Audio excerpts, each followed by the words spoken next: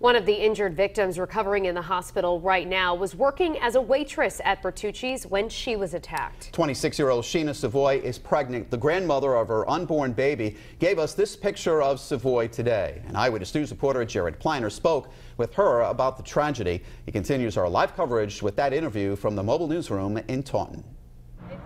Mike Shannon, DA Tom Quinn says Arthur DeRosa was hospitalized on Monday night after family noticed he was acting and speaking irrationally.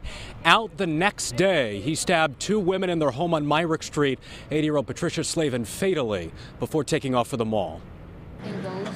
CJ Martin says she's praying tonight everything works out for 26 year old Sheenah Savoy and Martin's unborn grandchild. I got a small family and it's going to be bigger, I hope.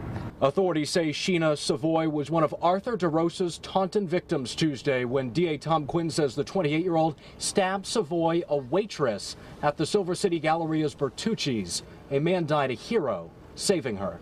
She's a beautiful person. Savoy was flown to Rhode Island Hospital where she was set to undergo surgery. Martin says she found out about Savoy's pregnancy just this morning. I called my son and I said, How is she? And he told me. And he's like, Do you mind if I tell my mother? And she must have said yes. Martin says she has nothing but ill feelings tonight for Arthur DeRosa and his family. I'm sorry. I hate him.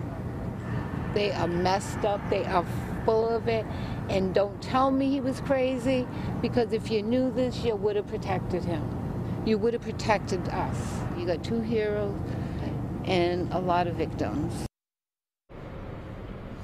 This is where it all ended, but it seemingly started at a child soccer practice on Myrick Street. Police say DeRosa left. He got into a car. He crashed into a pickup. He stabbed the Slavins, attempted carjackings, and again died right here at the Silver City Galleria. Beyond apparent mental instability, no discernible motive tonight. Live in Taunton with the Southeastern Massachusetts Mobile Newsroom, I'm Jared Pliner, Eyewitness News.